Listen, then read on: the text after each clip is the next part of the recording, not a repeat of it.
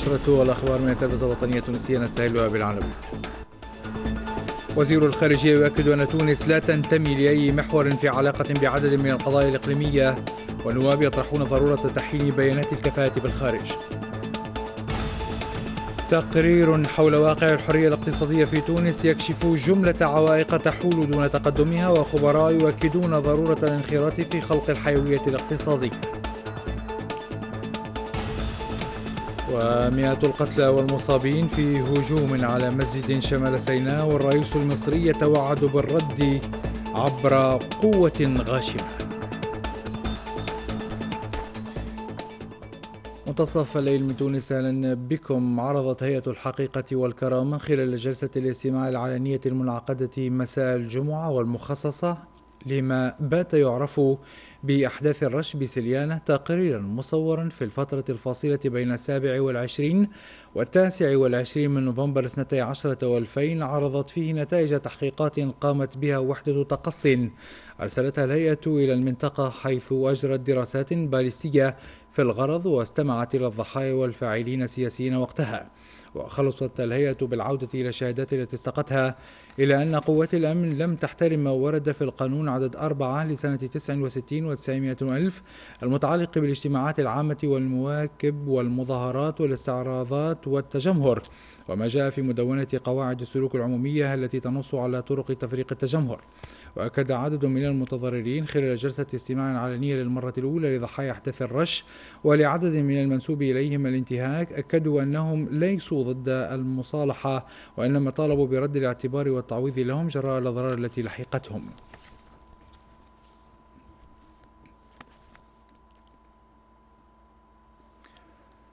صدق نواب البرلمان مساء الجمعة على مشروع ميزانية المحكمة الدستورية الواردة بالباب الحادي والثلاثين من ميزانية الدولة بمائة وصوت واحد دون احتفاظ أو اعتراض حيث قدرت اعتماداتها بأربعة ملايين وثلاثمائة واثنين وثلاثين ألف دينار وأثار رفض وزير العدل مناقشة مشروع ميزانية هذه المحكمة مع النواب نظرا لعدم إعدادها من قبل وزارته جدلا فيما بينهم بين من دعا إلى التصويت على الاعتمادات مباشرة باعتبارها اعتمادات أولية وبين رافض لذلك ومطالب بمناقشتها مع وزير المالية باعتبارها الجهة المانحة للاعتمادات.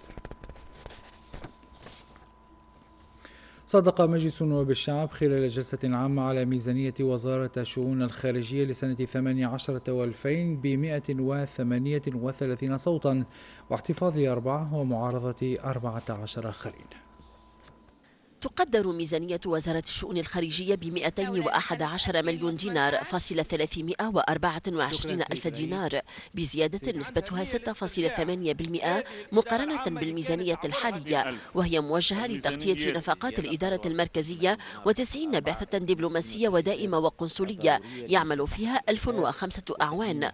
ملاحظات النواب وتقييمهم للميزانية التقت عند محدودية حجمها مقارنة بالتحديات المطروحة على هذه الوزارة. هذه اعتمادات ما تسمحش بتحقيق طموحات الدبلوماسية التونسية. ومش معقول اللي اليوم نلقاو سفارات تمثل تونس في الخارج تكون في سوريا تمثيل سوري ومباني في حالة رثة. الميزانية هذه ما تمكنش أيضا من العمل أو تنظيم المناسبات لإقامة العلاقات اللازمة وتطوير العلاقات الدبلوماسية. مناقشة ميزانية وزارة الشؤون الخارجية كانت فرصة للنواب لإبداء ملاحظاتهم حول عدد من المسائل. اشترى أولادنا طايح في البحر ولا واحد حتى المواطنين اللي يمشوا غادي ما يلقوا حتى يد العون ولا المساعدة للعثور على أبنائهم أو شكون يلهى بهم. نحبوا نعرفوا مذكرة الاتفاق هذه نتاع 15 مايو 2015 اللي خاصة بتعويض أمريكا على الهجمة اللي صارت في سبتمبر 2012 تصنيف بعض الدول وبعض الهياكل اللي إحنا أعضاء فيها لبعض المنظمات. تم تصنيفها كمنظمات إرهابية. منظمات هذه اليوم عندها ارتباطات بالدولة التونسية. تونس شنو باش يكون موقفها؟ من هذه التصنيفات. كما أكدت بعض المداخلات على ضرورة احترام السيادة الوطنية في إبداء المواقف أو اتخاذ قرارات في علاقة بالدبلوماسية التونسية وبالتحالفات. تونس لا تنتمي لأي محور السياسة الخارجية لا تبنى على الإيديولوجيا لا تبنى على شعارات. السيادة الخارجية تحددها مصالح تونس وتونس أولا وقبل أي طرف ثاني ونحب نأكد هنا أن مواقف تونس تأخذ باستقلالية تامة. جلسة المصادقة على ميزانية وزارة الشؤون الخارجية كانت فرصة للنواب للدعوة إلى تحيين بيانات الكفاءة التونسية العاملة بالخارج للاستفادة من خبراتها وتقديم الدعم اللازم لكتابة الدولة للدبلوماسية الاقتصادية وللدبلوماسية البرلمانية فيما عبر عدد من النواب عن ارتياحهم لما وصفوه بالمواقف المعتدلة لوزارة الشؤون الخارجية إزاء عدد من القضايا الإقليمية والدولية وفي مقدمتها الأزمة في ليبيا باستثناء موقف الجبهة الشعبية التي وصفتها بالدبلوماسية الصامتة إزاء بعض القضايا من بينها الأزمة في اليمن. عرضت في ورشة عمل بالعاصمة نتائج تقرير ميداني حول واقع الحرية الاقتصادية في تونس. التقرير صنف تونس في المرتبة السابعة عشرة بعد المئة وأوضح العوائق التي حالت دون تقدمها. يصنف التقرير الميداني حول واقع الحرية الاقتصادية تونس في المرتبة السابعة عشر بعد المئة من أصل 165 دولة. ترتيب متدن لا يعكس وفق التقرير الإمكانات التي تسخر بها تونس في المنطقة والخسائر التي تكبدتها جراء عدم انخراطها في منظومة الحرية الاقتصادية. هذا المؤشر الذي يعني وفق دوغلاس نورث الحائز على جائزة نوبل للاقتصاد سنة 93 الأسواق الناجعة التي لا تولد الرفاه الاقتصادي فحسب وأن إنما تتعداه لتثبيت الديمقراطية والحد من المطلبية. تحديات تواجهها تونس. عندما أنظر إلى الترتيب العالمي للحرية الاقتصادية ألاحظ أن البلدان التي تنعم بالرفاه هي البلدان التي بها حرية اقتصادية. لذلك من الأهمية بمكان أن تنخرط تونس في خلق الديناميكية الاقتصادية لأسواقها تونس لديها في المنطقة منظومة قانونية اقتصادية متطورة لكنها ليست مفعلة على الوجه الأكمل الحرية الاقتصادية لابد من تمكينها للجميع حتى يشعر الناس بالمساواة.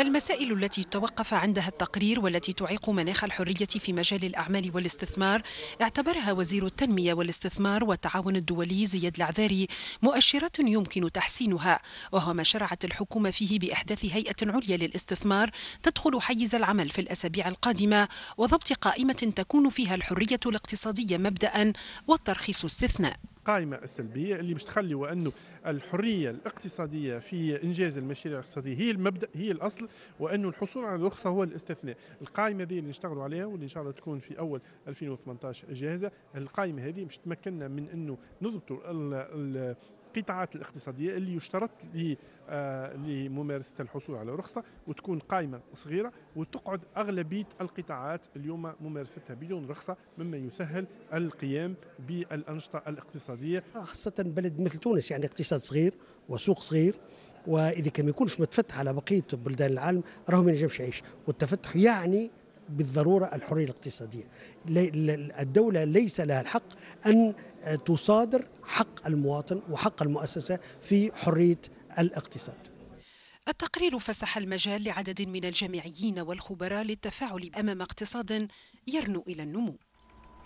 إلى أخبار العالم الآن حيث ارتفعت حصيلة ضحايا الهجوم الإرهابي الذي استهدف مسجد الروضة غرب مدينة العريش في مصر ارتفع إلى 235 قتيلا وأكثر من 100 جريح. وفي كلمة ألقاها إثر العملية توعد الرئيس المصري عبد الفتاح السيسي برد وصفه بالغاشم. فيما لم تعلن أي جهة حتى الآن مسؤوليتها عن الهجوم.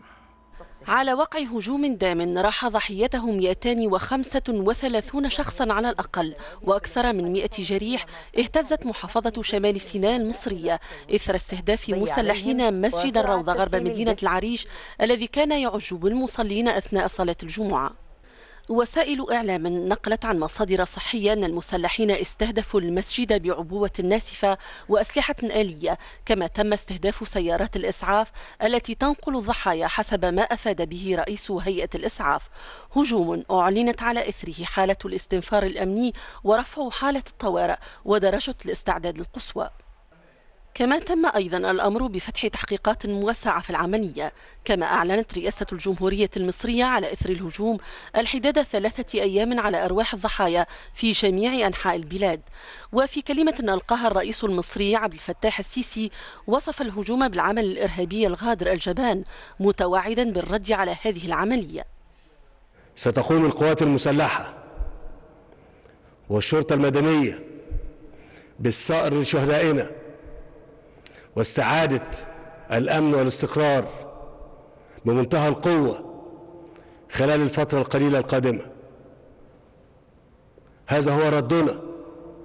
سنرد على هذا العمل بقوة غاشمة في مواجهة هؤلاء الشرذمة المتطرفين الإرهابيين التكفيريين. وكانت الرئاسة المصرية قد توعدت في بيان لها بعد التفجير كل من شارك في الهجوم الإرهابي الذي استهدف المسجد مؤكدة أن يد العدالة ستطال كل من شارك وساهم ودعم أو مول أو حرض على ارتكاب هذا الاعتداء. هذه العملية الإرهابية لاقت موجة كبيرة من التنديد والإدانة عربيا ودوليا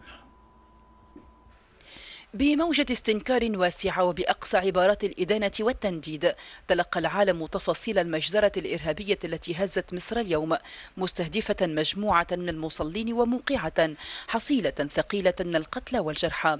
مجزرة قال شيخ الأزهر الشريف وكأن منفذيها يريدون توحيد المصريين في الموت والخراب بعد أن استهدفوا اليوم المصلين بالمسجد فيما كان الدور سابقا على الكنائس داعيا إلى الضرب بكل شدة وحسم على ما وصفها بالعصابات الإرهابية ومصادر تمويلها وتسليحها. وقد أكدت تونس إثر هذه العملية الإرهابية تضامنها المطلق مع الحكومة المصرية وثقتها في قدرة الشعب المصري على الانتصار على آفة الإرهاب وحفظ أمنه واستقراره الذي يعتبر ركيزة أساسية من أمن المنطقة واستقرارها مجددا الدعوة إلى تضافر جهود المجموعة الدولية من أجل تكثيف التعاون والتعجيل بإرساء الآليات الفاعلة والناجعة للتصدي لهذه الآفة المقيتة وأثارها الخطيرة على كافة دول العالم. كما سارعت جل الدول العربية والإسلامية كالكويت والبحرين والإمارات والعراق وسوريا واليمن والأردن والمملكة العربية السعودية ولبنان وكذلك الرئاسة الفلسطينية للتعبير عن تعاطفها التام مع مصر حكومة وشعبا. ووقوفها الثابت إلى جانبها في مواجهة خطر الإرهاب الذي يستهدف الجميع دون استثناء. ودعت إلى تكاتف جهود المجتمع الدولي لضمان اجتثاثه وتشفيف منابع تمويله. وهو ما ذهب إليه كذلك أمين عام جامعة الدول العربية أحمد أبو الغيط الذي أكد أن العالم مدعو اليوم إلى تسريع الخطى بجدية وفاعلية أكثر لمواجهة الخطر المستفحل للإرهاب. وفي تغريدة على حسابه على تويتر شدد الرئيس الأمريكي دونالد ترامب على ضرورة عدم التهاون مع الإرهاب والعمل على هزيمة من يقوم وجودهم على الإيديولوجيات المتطرفة عبر المواجهة العسكرية واصفا العملية بالشنيعة والجبانة. وقد وصفت بريطانيا هذا الهجوم الإرهابي بالهمجي والمروع والجبان. فيما قالت الرئاسة الفرنسية إن ما تعرضت له مصر اليوم هو عمل بشع فعلا. وعرض الرئيس الروسي فلاديمير بوتين على الحكومة المصرية مزيد التعاون لمحاربة الإرهاب. نهاية النشرة مشاهدينا الكرام وهذا تذكير بأبرز ما جاء فيها في عناوين وزير الخارجية يؤكد أن تونس لا تنتمي لأي محور في علاقة بعدد من القضايا الإقليمية والنواب يطرحون ضرورة تحيين بيانات الكفاءة بالخارج.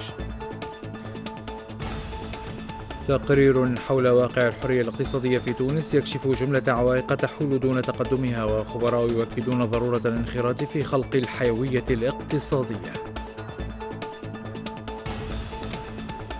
مئات القتلى والمصابين في هجوم على مسجد شمال سيناء والرئيس المصري يتوعد بالرد عبر قوة غاشمة.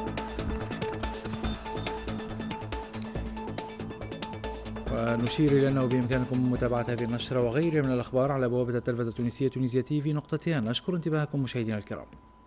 إلى اللقاء.